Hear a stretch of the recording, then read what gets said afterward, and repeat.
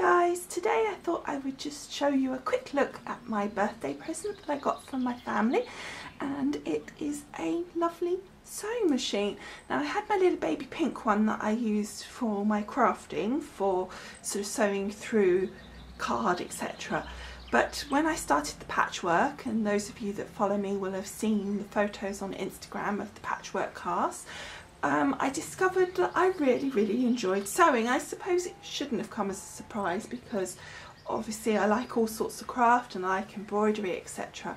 But I have to say I wasn't expecting to like patchwork as much as I did. So I managed to do quite a bit of the patchwork using my little baby machine, but really the tension and all of that really wasn't up to scratch and now it's getting to the bigger part of the, and the blocks are kind of getting finished well they're not entirely finished but they're getting there and I'm going to have to put it all together. It's just I con was concerned that it wasn't really going to be strong enough. Plus I know I'm going to want to do more. So um, my mum started hunting around unbeknown to me for a sewing machine that she thought would be kind of not too advanced but advanced enough to take me forward and this is the one she found and it arrived probably a month and a half two months before my birthday and I was very good I didn't even peek at it but it was very very tempting but I didn't and then when it was my birthday I got to unwrap it and it was absolutely gorgeous so I thought I would share it with you so first of all what I didn't I knew roughly what I was getting insofar as that she checked with me that I was happy with the machine itself. But I didn't know, it, for example, it would come with this gorgeous cover on it, which I think is really, really nice, and it protects it from the dust and everything, so that's really good. And all you do is literally just lift it off, and it's just brilliant. It's just uh, got all the protective bits on in the inside, so it's terrific like that. And then you can then just plug in the power at the side, and it has a little foot pedal as well. Obviously, I presume most sewing machines, if not all, have foot pedals, so you just plug that in at the side. We've got an on-off switch, and on it goes.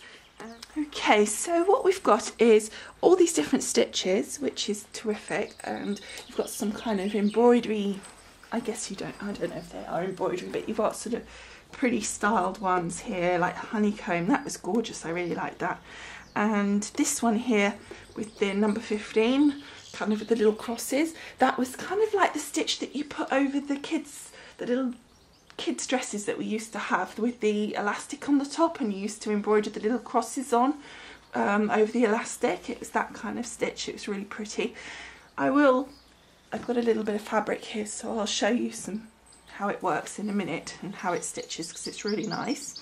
So we've got all these different stitches. So there's 20 different ones and you just pick them by using the little arrow keys here and then it changes the number which I don't know if you can really see. And then we've got here the length of the stitch so you can take that up or down. And I think when you go to the stitch it kind of does it as a standard for each stitch. And then we've got the width of the stitch as well so you can adjust that. So that's really cool. So we've got all those. So then as per normal you have your hand sort of thing for the for the thread uh, needle at the side. We've got our bobbin winder up here. We've got um, our thread spool is actually a flat one, a horizontal one, although you can insert here a normal upright one, which is great. So then you thread it all the way around. It's actually got a needle threader as well, so that's really cool. So down here on the needle section, We've got obviously the foot, that comes the standard foot and I'll show you in a minute but there's a whole load of other feet that come with it. And we've also got a little needle threader which is really cool and made it really easy to thread. I'm pretty good at threading the needle but having that still was just such a once I worked out how to use it, it was really, really simple. Actually, to be honest, what happened was the instructions on how to use it were more complicated than the actual use of it. And in the end, I kind of just went by gut instinct and that seemed to be better. Um, but you've got all that. And then along here on the foot plate, you've got all different um, markings on here to show the different widths so that you can sort of go to whichever width you want. But also further up here, you've got the red mark for your quarter inch, which is great for obviously for my patchwork where I want the quarter inch seam. So that's fab for that as well.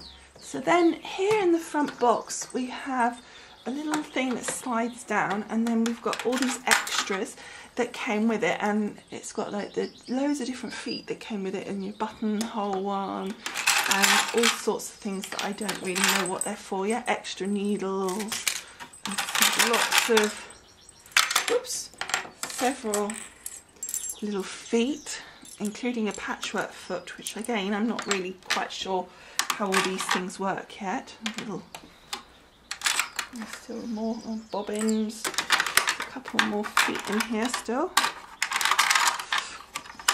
A little stitch unpicker and then a couple more feet as well.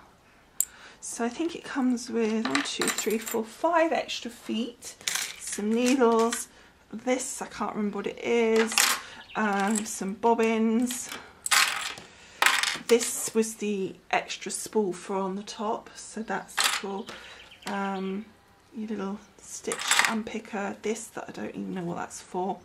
Uh, your needles, and then your five extra feet, which I think is a great extra set. Pretty much anything you can think of will be covered, which is great and I love the fact it's got the light again. I'm not sure if you can really pick that up in this sunlight but you've got the light down there as well which my other machine didn't have. And then finally at the side just here you've got a uh, cutter for your thread which is fabulous. And then here we've got our uh, needle. I don't know what that one is. I can't remember. Oh up and down oh, down and up, right, literally down and up. So that'll take your needle up and down. Fix, which is great because I love that. It just literally at the beginning or the end of your row of stitching, you can fix and it does a couple of stitches for you to fix it in place. Reverse and then obviously start and stop um, there. And then over to here, we've got the speed, which is kind of really your maximum speed because obviously the speed is, is kind of done on your foot pedal so you can adjust the speed on the foot pedal by going up and down. So if you only do a little bit it will go slower. But if you sort of put the the pedal to the metal as they say um, you will get it up to the maximum. So I shoved it up to the maximum to be honest so that I then have the choice and I'll control it on the foot pedal.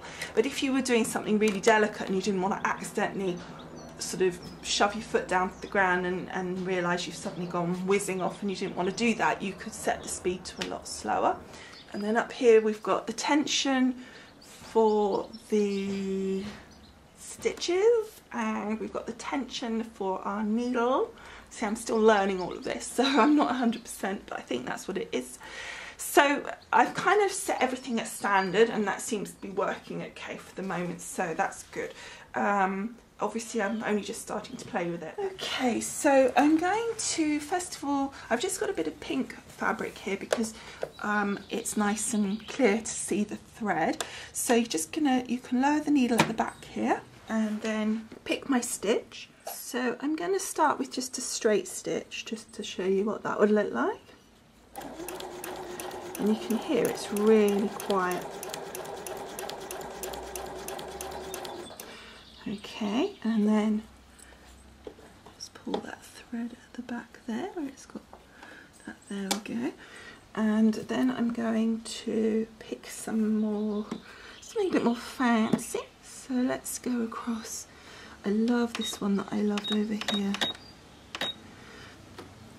Okay. And this is our little crosses.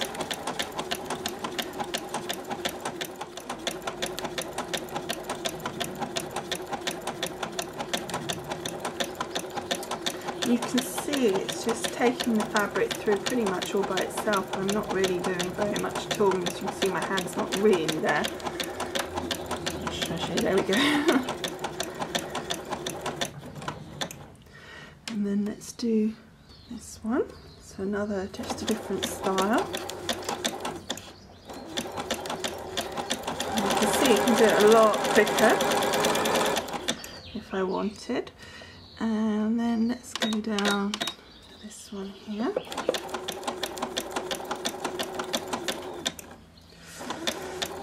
Now I may not have the tension absolutely perfect on that and I have to say I'm going slightly off here so let's push that over.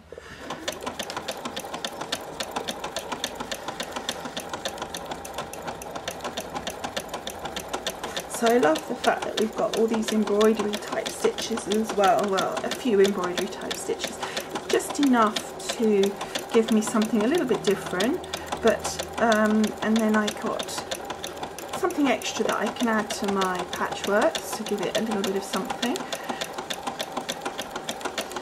So that's just a few samples there. So let's just pull this out and then all I need to do is just take that up to the side here and pull it through that thread and it just goes and cuts it straight away really beautifully and I'll show you the stitches up.